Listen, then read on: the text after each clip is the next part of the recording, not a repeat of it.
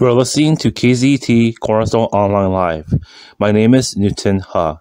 As today's Bible, March 19th, 2022, was read by Pastor June Park. I'll be reading the narration that will be broadcast through Facebook and YouTube channels. Today's message, Luke chapter 5, verse 27 to 39.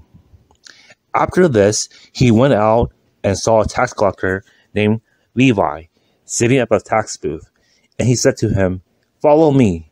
And leaving everything, he rose and followed him. And Levi made him a great feast in his house, and there was a large company of tax collectors and others reclining at table with them. And the Pharisees and their scribes grumbled at his disciples, saying, Why do you eat and drink with tax collectors and sinners? And Jesus answered them, Those who are well have no need of a physician, but those who are sick I have not come to call the righteous, but sinners to repentance. And they said to him, The disciples of John fast often and offer prayers, and so do the disciples of Pharisees, but yours eat and drink. And Jesus said to them, Can you make wedding guests fast while the bridegroom is with them? The days will come when the bridegroom is taken away from them, and then they will fast in those days.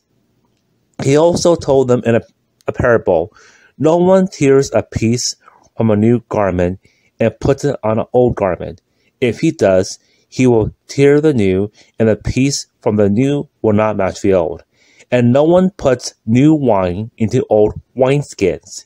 If he does, the new wine will burst the skins, and it will be spilled, and the skins will be destroyed. But new wines must be put into fresh wineskins, and no one after drinking old wine desires new, for he says, the old is good. You are listening to KZET Cornerstone Online Live. My name is Newton Ha. As today's Bible, March 19th, 2022, was read by Pastor June Park. I'll be reading the narration that will be broadcast through Facebook and YouTube channels. Today's message, Luke chapter 5, verse 27 to 39. After this, he went out and saw a tax collector named Levi sitting at a tax booth. And he said to him, Follow me. And leaving everything, he rose and followed him. And Levi made him a great feast in his house, and there was a large company of tax collectors and others reclining at table with them. And the Pharisees and their scribes grumbled at his disciples, saying, why do you eat and drink with tax collectors and sinners? And Jesus answered them, Those who are well have no need of a physician, but those who are sick I have not come to call the righteous, but sinners to repentance. And they said to him, disciples of John fast often and offer prayers, and so do the disciples of Pharisees, but yours eat and drink. And Jesus said to them, Can you make wedding guests fast while the bridegroom is with them? The days will come when the bridegroom is taken away from them, and then they will fast in those days. He also told them in a, a parable No one tears a piece from a new garment and puts it on an old garment.